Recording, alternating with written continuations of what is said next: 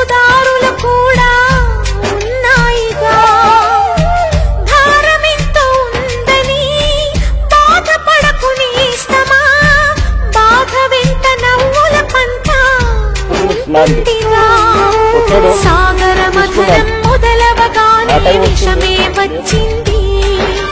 విసుగే చెందక కృషి చేస్తేనే అమృతం నేను